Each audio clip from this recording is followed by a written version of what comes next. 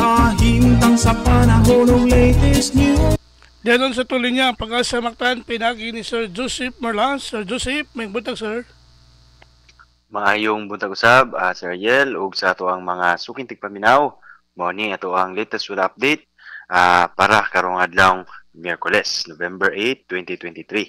Kining easterlies o ang init nga hangin nga gikan sa silangan o dagat Pasipiko may padayon nakaapekto, nakahatag og mga pagulan sa Southern Luzon, Visayas ug sa Mindanao ug ang amihan no northeast monsoon mo'y nakaapekto usab diha lang sa tuming bahin sa northern Luzon. Ug uh, gawas sa ning duha ka weather system, wala inon tayo gibantayan og ipaabot nga uh, bagyo uh, nga posible makaapekto sa ato ang nasod. Maong karong adlaw Miyerkules tungod ning easterlies ang tibuok Kabisayaan lakip ng probinsya sa Sugbo makasinatita aning kisdom o mapanganuron nga kalangitan uh, labi na karong buntag ngadto na sa sayo sa uh, hapon o early afternoon o, o taas ang uh, tsansa aning mga katag-katag na mga hinay ngadto sa kasarangan ug negosyon nga kusog na mga pag-ulan.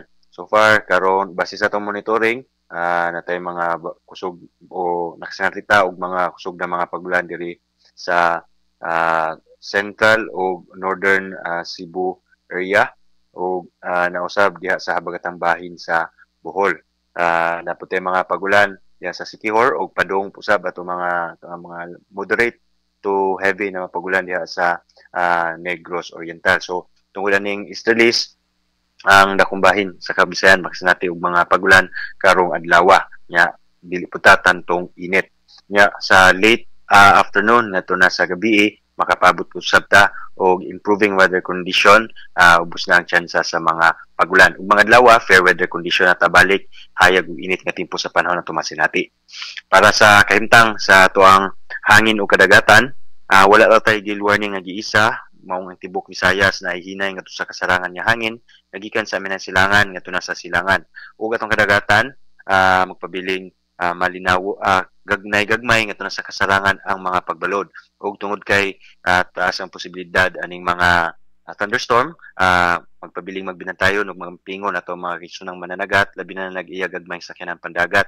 Kay kay uh, kay kung natay mga thunderstorm posibleng mamahimong uh, baluron ato ang uh, kadagatan sa Cebu atong dagat motaob ni karong alas 7:03 sa buntag nga nagilawmon nga 1.0 meter ug mohuna sa alas 2:45 sa hapon nga nagimabon nga 0.3 meters. Ato ang temperatura uh, magduwa lang sa 27 to 30 degrees Celsius o mas baba ra niya ang temperatura karong makapabot ta og mas ubos ra na temperatura karong adlaw dili tantong init ug tungod ni mga pagulan dili to kalimtan magdala ta og payong paning panangga aning mga pagulan-ulan sa uh, sa Cebu ato ang adlaw haring adlaw musubang ni sa alas 5:36 sa buntag ug mosalop ni sa alas 5:19 sa hapon. Ug mo natong latest gihin diri sa buhatan sa pag-asa Mactan, Visayas del Oeste, Ms. Joseph Merlas, maayong buntag. Salamat sa Joseph, may buntag. Welcome, sir. Okay, good morning. Bye-bye. Inyo gadabati si Sir Joseph Perlas ang atong widow specialist gikan sa pag-asa Mactan. Mga pamukaw. Nga nagato sa atong dagat sa kahimtang sa panahon nining adlaw nga Miyerkules. November 8, 2023. Salamat sa pag-asa Mactan.